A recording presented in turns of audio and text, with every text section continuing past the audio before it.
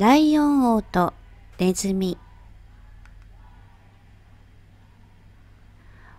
王様ライオンが昼寝をしていると。小さなネズミがちょろちょろと走ってきて。ライオン王の足を踏んでしまいました。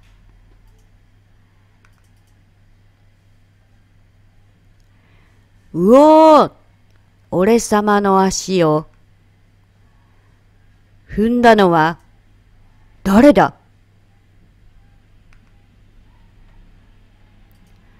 ライオン王は森中に響き渡る。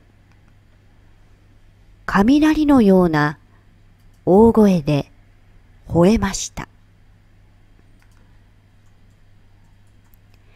小さなネズミは恐怖のあまり震え上がりました。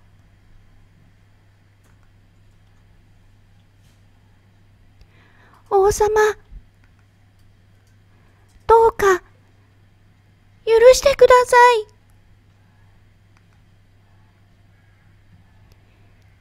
一生懸命に謝るネズミを哀れに思ったライオン王は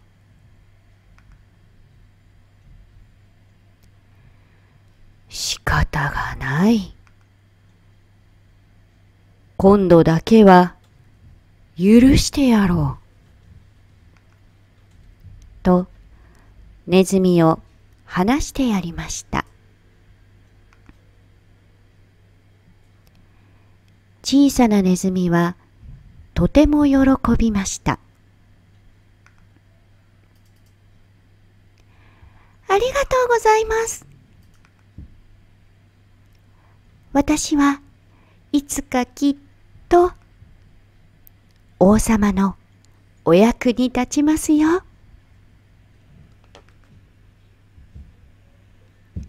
ライオン王はせせら笑って言いました。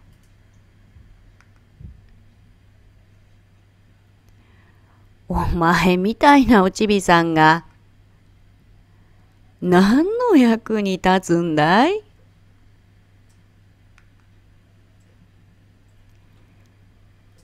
次の日、なんとライオン王は人間が仕掛けた罠にかかってしまいました。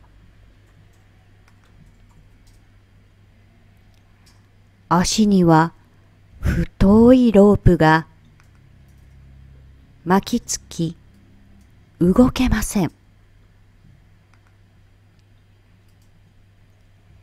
人間たちは大きくて立派なライオン王を見て大喜び。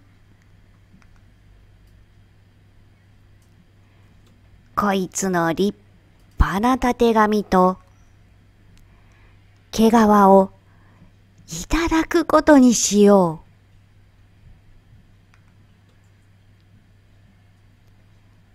その時、小さなネズミがちょろちょろと走ってきて、ライオン王の耳元でささやきました。きっとお役に立つと言ったでしょ？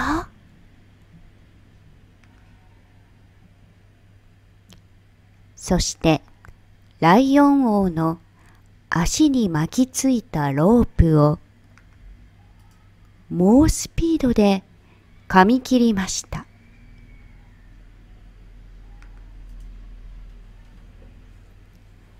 縄から解き放たれたライオンは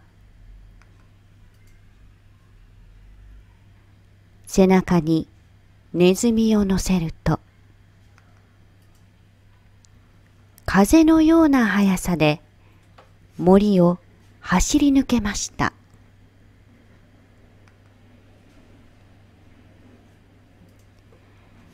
小さなネズミくん。